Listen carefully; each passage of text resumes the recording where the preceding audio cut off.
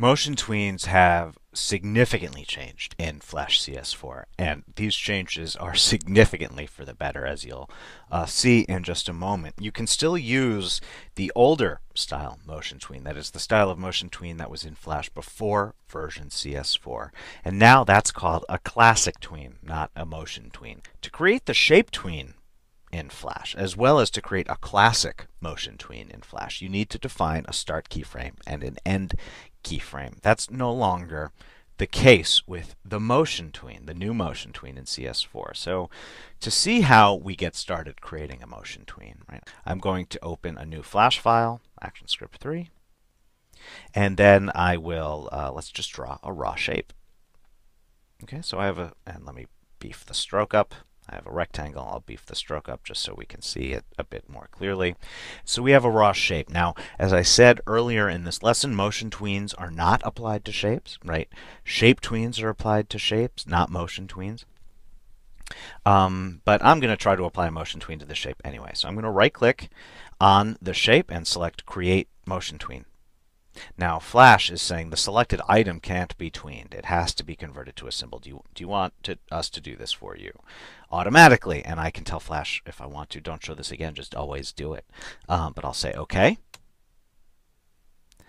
And you'll see a few things happened. Right. First of all, we now have selected on our stage an instance of symbol 1 not a raw shape. If I go into my library, symbol 1 has been created and inserted into the library for me, and it includes that raw shape that I selected. Also, you'll see that a 30 frame span has been inserted on the timeline for me. Now, if I scrub the span, nothing happens quite yet, right? But Flash automatically inserted all these frames. So even though I only had a single keyframe and I had a raw shape selected on that keyframe, right, I right-clicked, selected Create Motion Tween, and it all worked instantly and automatically. So what I can now do is move my playhead anywhere. So let's say frame 20. And I'll say I need the selection tool enabled, so I'll select the selection tool, and I'll say, oh, you know, this one, this square should really be down at the lower right here. And so now Flash has inserted the tween for me. I did not need to insert a keyframe. Uh, Flash just handled that for me. I could uh, apply a rotation. Uh, and again, Flash has done this for me. Right? So that works. And I can go anywhere, right? I could go out to frame having inserted that new state definition in frame 20, I can go to frame 10 and say, you know what, I don't want that uh, that symbol instance there now. I want it up here now.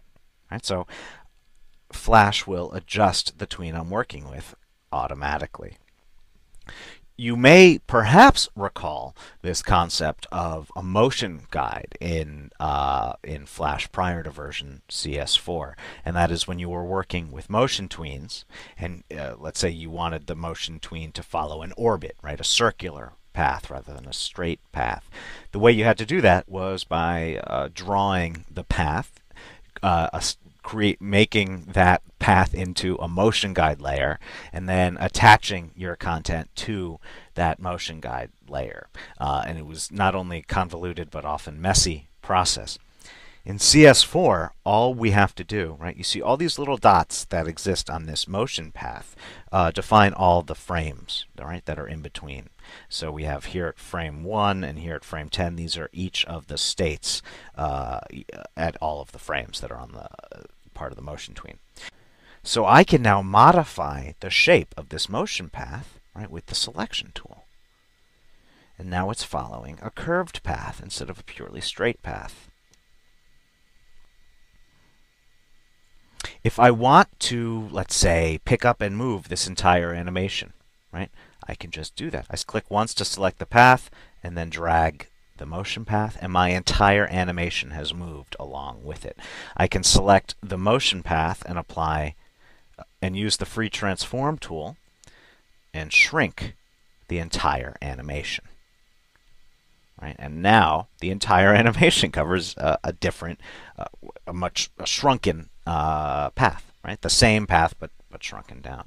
So we now have control of the motion path, which is created implicitly for us, right? As soon as we do something in our motion tween, uh, we'll have our motion path created, and we can work with that motion path as though it were any other content on our stage, right? So I'll select it again, enlarge it.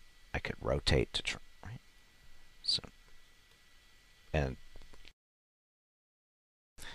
now we have a lot of control over our uh, motion tween here on the stage, but Flash CS4 also comes with this brand new panel, and it's called the Motion Editor. In order to work with the Motion Editor, you need to have a motion tween, which we conveniently do here. So I've selected the motion tween. I'll now view the Motion Editor, and let me collapse um, my properties. I can actually make it even a little smaller and uh, enlarge my timeline and enlarge the, mo the motion editor view. And you'll see it's grouped here into basic motion, transformation, color effect, filter, and eases. Okay, so we don't have any, currently we don't have any color effect or filter uh, transformations going on as part of this tween. Um, but let's look at basic motion. Basic motion has an X, a Y, and a Z rotation currently, right, because that's all we are transforming.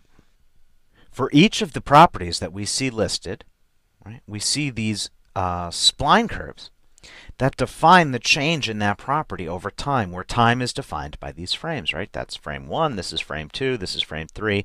You can see the content updating on the stage as we uh, scrub the playhead through the motion editor rather than the timeline.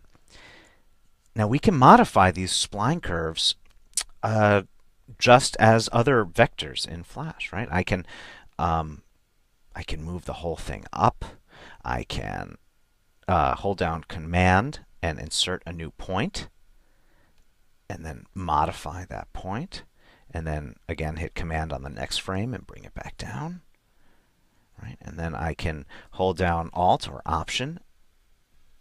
Right, so in this way, Flash has not only improved uh, the workflow of working with motion tweens, gotten completely rid of the need for motion guides, um, has given us vastly more control over the tween on our stage, but it's also given us this brand new panel, the motion editor, where we have really detailed uh, control over over the uh, the motions that are, are that are being generated by our motion tween. Now I'm going to return back to the timeline and I'm going to show you um, that the uh,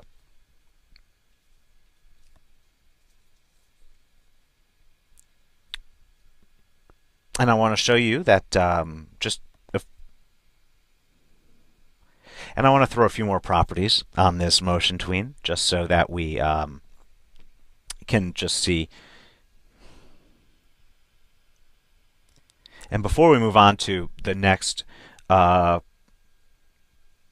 and before we move on to the next feature of motion tweens, I just want to add a few more properties to this motion tween.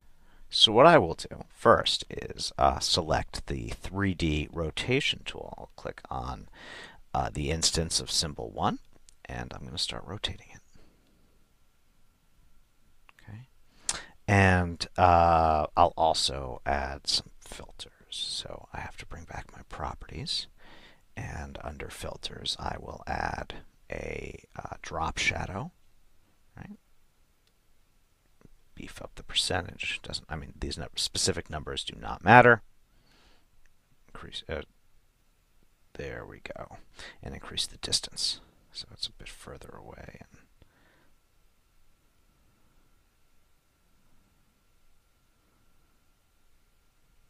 Great. And now I want to add a blur. And I'll make it a bit stronger. Great.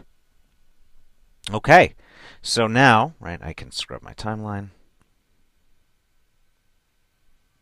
And uh, here, I want to take uh, the symbol instance and change its 3D.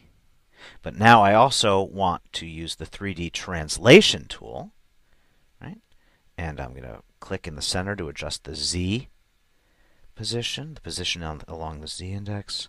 Uh, now I can adjust the position along the Y and also along the X.